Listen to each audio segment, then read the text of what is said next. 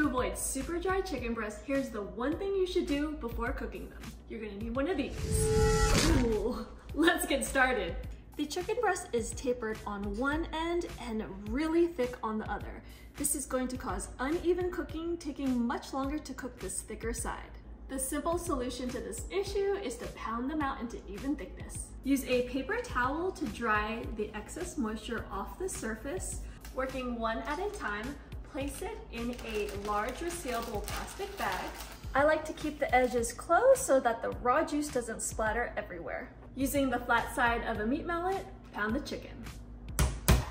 If you don't have a mallet, you could also use a rolling pin or the bottom of a heavy pan.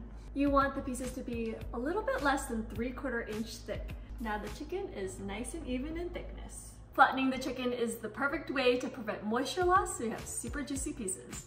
Now you're ready to cook.